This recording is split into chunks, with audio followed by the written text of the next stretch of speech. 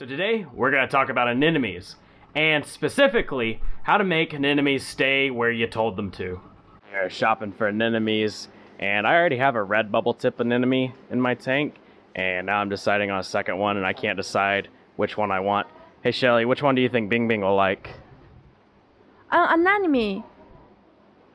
Let's go with the green, the bu- uh, the green bubble tip, I think. So everyone wants that classic clownfish and anemone pair, uh, but there's a lot of things that you might not realize about anemones before you try one. So a couple of things that a lot of people don't know is that one, uh, anemones are incredibly difficult to take care of. Um, they need just flawless parameters, and most people will not put them in a tank that is new.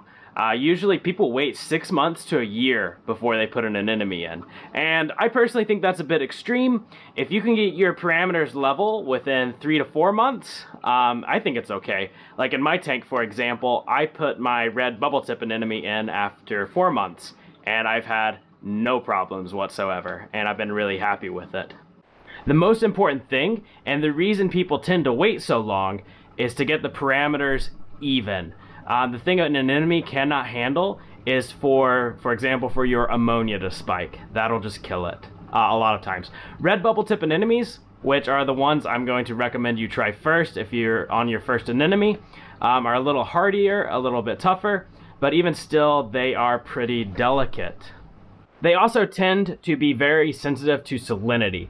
So you have to be able to mix your salt right when you do your water changes, mix it right each time, and keep that salinity even uh, all the time and not allow for the salinity to become higher or for the salinity to become lower. You have to keep it even. Another thing that makes first time anemone owners feel a little disgruntled is when you find out that anemones move. They inevitably go to the places you do not want them to go. So, for example, my uh, rose tip bubble anemone, I put it in the tank, gave it a perfect spot, had everything it needed. What does it do? It goes to the very back corner where you can't see it and just plops down and kills my star polyps. And the anemone's perfectly happy. It's just me, I don't like it there. So I'm working on technique to make an enemy stay where you want them to, to stay in a place where you can see them and enjoy them. So the first thing you need to know about anemones is that they cannot be acclimated the same way you acclimate a fish. You can't just float it in the water for a little bit and then dump it in. If you do that, the anemone will die every single time. For an anemone, you have to drip acclimate it. And you do this, you need a bucket, you need an anemone, and you need your hose. This is just the one that I use for water changes. And then you need something to clamp it off to slow the flow of the water. You know, I have a little clamp.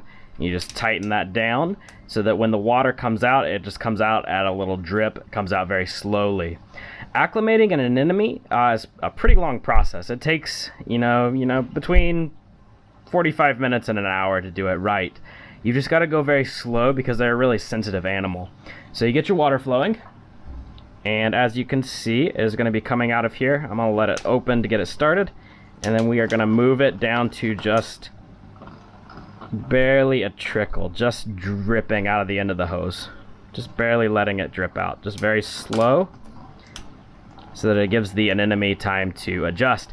And then, once you've got your water set, you can open up your bag and put the hose in. And I use a little clamp to hold the hose to the bag. And then you just give that time to adjust. Uh, usually takes about 45 minutes for the bag to feel, fill and for the anemone to adjust to the water in your tank. Alright, while that little guy acclimates, I will show you how to keep them in one place using an anemone cup. I'm not entirely sure why this works. Uh, somehow putting them in this little cup, which they could easily crawl out of, you know, somehow it just tricks them into staying there. I think of it as like when you tie a horse to like a lawn chair or something. The horse could easily pull away from the chair, but it doesn't because it's on a rope. Sort of like you trick it.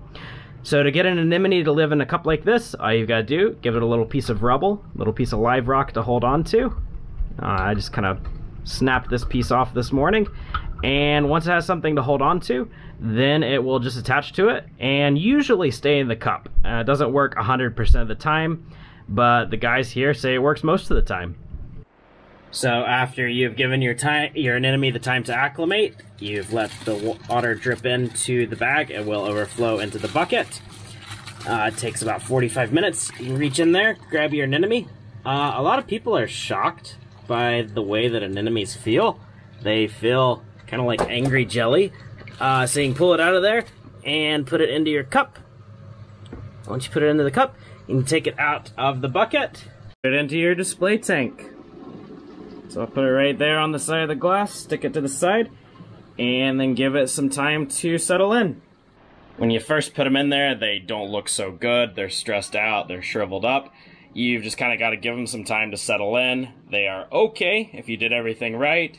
If your parameters are right, you slowly acclimated them, it will be okay.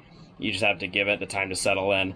You know, Bing Bing's over here already checking it out. You know, he likes this green one better than his red one already. But uh, I'm going to give that anemone some time to settle in, and here in a little while, mm, in a couple hours, I'll check in, and then I'll show you again a video after a few days once it's not stressed out anymore. Sometimes you're actually better off without having a clownfish in there. Uh, clownfish love anemones, and sometimes they will actually love them to death. Uh, they will bother them too much and it will actually kill the anemone. Um, that's one thing to take careful note of if you do have a clownfish and you get an anemone. The anemone needs to be two to three times larger than your clownfish, or your clownfish will, in fact, just love it to death. Bing Bing's not going to know what to do now that he has two different anemones to choose from. You know, I just really hope he leaves it alone enough, uh, for long enough for the anemone to really get settled in and to get comfortable. Okay, so it's been in there for a few hours. Things are looking good. And Bing Bing has decided, yep, this is mine. So I'm going to make another video in a couple days. It's still not completely open. Still looks just a little bit stressed out. And I just want to show you each step of the process. Because when you put your anemone in the tank the first time and it doesn't look as big and beautiful as when it was at the pet store, uh, people start to kind of worry. You know, I'm just want to show you that it's okay. It just takes these guys a little bit of time to get settled in. So once it's fully open, I will make another video. Alright, so we're looking pretty good. Uh, the anemone has stayed in the cup so far, and Bing Bing has claimed it as his own. And if you're new to this channel, uh, Bing Bing is the clownfish, and he actually knows how to do tricks. I do a couple other videos like that where I train the fish, but I've been expanding into some other stuff lately, uh, just some like beginner level aquarium stuff. So I hope you enjoy and I hope you find it helpful. Thanks so much for watching. I hope you enjoyed. One of my goals with how to train your fish is one, zany aquarium solutions, two, uh, demystify the saltwater hobby and to make it more accessible to more people. So if you enjoyed this, be sure to subscribe.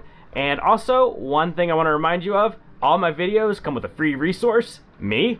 So you can ask me a question in the comment section, or if you have a question you think, oh, I don't know if I want other people to know I have this question, you can shoot me a DM on Instagram. Uh, you can follow me here. I'm super easy to get a hold of. Give me a DM anytime and I'll get back to you and I can help you out. Also, I'm a member of several different Facebook groups like Fish Talk, and I like to hang out there and help people out. So be sure to join a group like that. Uh, be a part of the community. Uh, I'm not just a talking head on YouTube. You know, we can virtually hang out in some places. All right, well, I'll see you again. Thanks so much, and bye.